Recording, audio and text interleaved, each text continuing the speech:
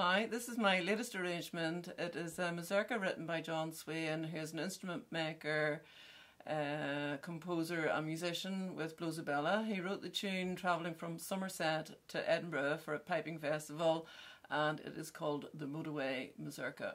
It was written for a student. I've arranged it for a student, and I'm going to upload it to the website so the sheet music will be available as a free download.